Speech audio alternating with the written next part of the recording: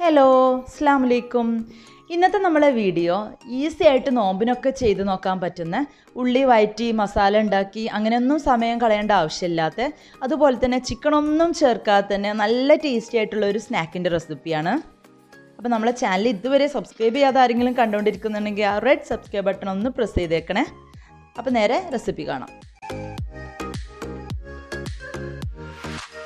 ഈ ഒരു സ്നാക്ക് ഉണ്ടാക്കാനായിട്ട് നമുക്ക് ആവശ്യത്തിനുള്ള പൊട്ടാറ്റോസ് ആദ്യം ഒന്ന് വേവിച്ചെടുക്കുകയാണ് വേണ്ടത്. അപ്പോൾ നമ്മൾ കട്ട്ലറ്റിനൊക്കെ പൊട്ടാറ്റോസ് വേവിക്കുന്ന പോലെ കുക്കറിലിട്ടിട്ടൊന്ന് വേവിച്ചെടുത്താൽ മതിയാകും.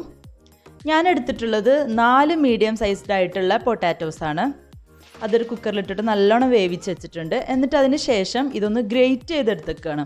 അപ്പോൾ ഗ്രേറ്റ് ചെയ്തതിന് പകരമായിട്ട് നമ്മൾ കട്ട്ലറ്റിനൊക്കെ ചെയ്യുന്ന പോലെ ഉടച്ചെടുത്താലും മതി. ഇനി ഇതിലോട്ട് നമുക്ക് ആവശ്യമുള്ളത് നാല് പുഴുങ്ങിയ മുട്ടയാണ്.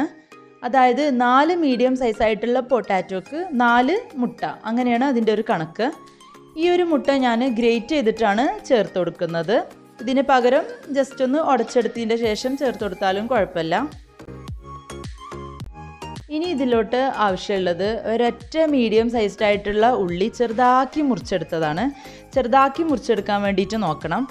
അപ്പോൾ ഈ ഒരു കണക്ക് പ്രകാരം ഒരൊറ്റ ഉള്ളി മതി. അതിലും കൂടുതൽ എടുക്കേണ്ട ആവശ്യമില്ല. പിന്നെ ഇതിലോട്ട് ഒന്നര ടീസ്പൂൺ വെളുത്തുള്ളി ഇഞ്ചി ചതച്ചതാണ് ചേർത്ത് കൊടുത്തിട്ടുള്ളത്. പിന്നെ എരിവിന് ആവശ്യത്തിനുള്ള പച്ചമുളക്. ഞാൻ രണ്ട് രണ്ട് പച്ചമുളക് ചെറുതാക്കി മുറിച്ചെടുത്തതാണ് ചേർത്ത് കൊടുത്തിട്ടുള്ളത്. നല്ല എരിവുള്ള പച്ചമുളകാണ്. ഇനി ഇതിൽക്ക് ആവശ്യമുള്ള മസാലപ്പൊടികൾ ഇട്ട് കൊടുക്കാം. അതായത് കാൽ ടീസ്പൂൺ മഞ്ഞൾപ്പൊടി അര ടീസ്പൂൺ ഗരം മസാലപ്പൊടി അര ടീസ്പൂൺ കുരുമുളക് പൊടി.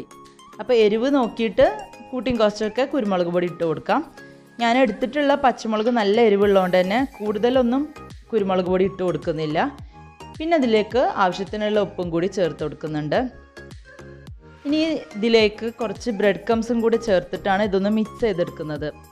ആദ്യം കുറച്ചും ബ്രെഡ് കംസ് ഇട്ട് നോക്കിയിട്ട് ഒന്ന് മിക്സ് ചെയ്തെടുത്തതിന് ശേഷം പിന്നെ ആവശ്യമുണ്ടെങ്കിൽ അതിനനുസരിച്ച് പിന്നെ ഇട്ട് കൊടുത്താൽ മതി. ഞാൻ ആദ്യം രണ്ട് ടേബിൾ സ്പൂൺ ബ്രെഡ് കംസ് ചേർത്ത് ഒന്ന് മിക്സ് ചെയ്തെടുക്കുന്നുണ്ട്.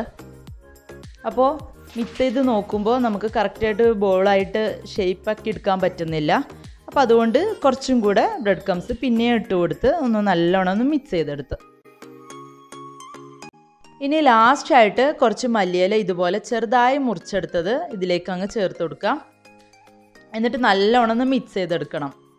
അപ്പോൾ ഇത്രയും കാര്യങ്ങൾ മതി ഈ ഒരു പൊട്ടാറ്റോ എഗ് മിക്സ് റെഡിയാക്കിയെടുക്കാൻ ഇവിടെ ഞാൻ എഗ് എടുത്തതിന് പകരമായിട്ട് ചിക്കൻ താല്പര്യമുള്ളവർക്ക് ചിക്കൻ വേവിച്ചിട്ട് ചെറുതായി മുറിച്ചെടുത്തിട്ട് ചേർത്ത് കൊടുത്താലും മതി. അങ്ങനെയും ചെയ്യാം.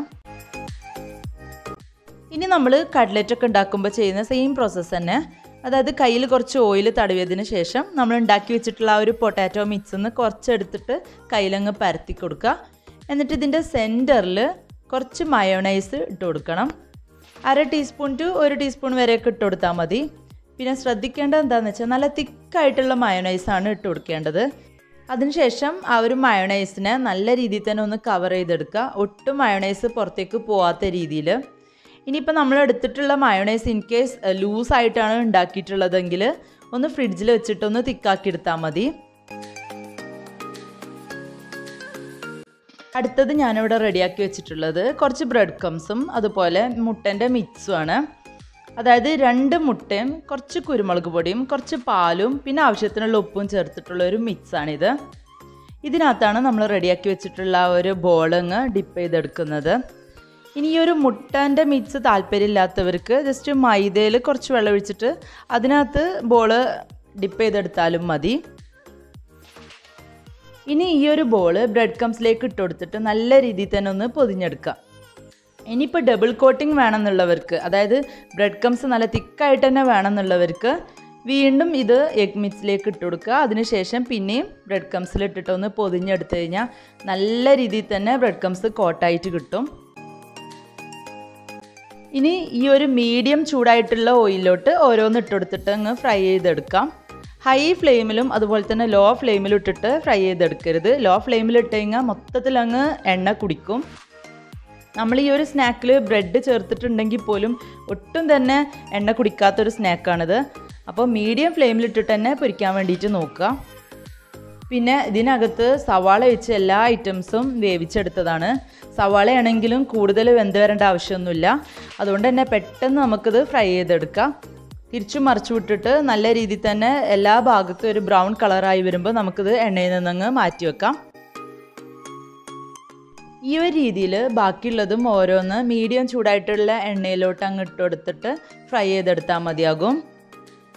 അപ്പോൾ ഇത്രയേ ഉള്ളൂ ഈ ഒരു സ്നാക്ക് ഉണ്ടാക്കാനുള്ള കാര്യങ്ങൾ വീട്ടിലുള്ള സാധാ ചേരുവകൾ വെച്ച് ഉണ്ടാക്കാൻ പറ്റുന്ന നല്ലൊരു സ്നാക്കാണ് കഴിക്കാനും നല്ല ടേസ്റ്റാണ് നമ്മളിത് കഴിക്കുമ്പോൾ മയോണൈസ് ഇങ്ങനെ കടിക്കുന്നതുകൊണ്ട് തന്നെ നല്ല ടേസ്റ്റാണ് ഉണ്ടാക്കി നോക്കാത്തവർ ആരെങ്കിലും ഉണ്ടെങ്കിൽ എന്തായാലും ഒന്ന് ഉണ്ടാക്കി നോക്കണേ. തീർച്ചയായിട്ടും നിങ്ങൾക്ക് ഇഷ്ടപ്പെടും. വീണ്ടും നല്ല റെസിപ്പി ആയിട്ട് തന്നെ വരുന്നതായിരിക്കും. താങ്ക്